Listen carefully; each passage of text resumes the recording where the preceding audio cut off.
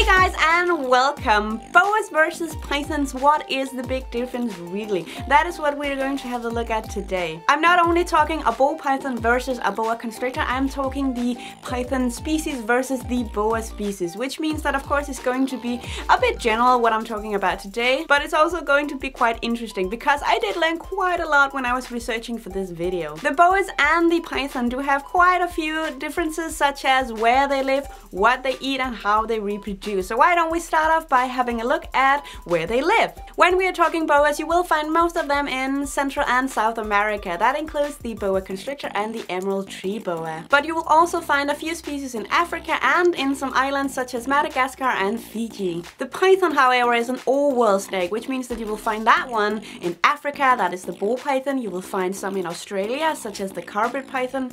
And last but not least, you will find some in Asia, which includes snakes like the Burmese python python. Some python, like the Burmese python and the reticulated and the African rock python, was actually introduced into North America, but they are now considered an invasive species. Then of course there is some differences in how they look, and why don't we start off just by the size? The pythons are among the biggest snake in the world, which counts the Burmese python, the reticulated python and the African rock python. On average, some of these guys can reach up until 6 meters. Now that is a big snake, but of course there has been found specimens who are way, way bigger than this but on average these guys do get pretty pretty big. Then there is the boas, they don't grow as big as the pythons but they still get to be a pretty pretty decent size which means that some of the bigger boas they do grow up until 4 meters and personally I think that that is a big snake.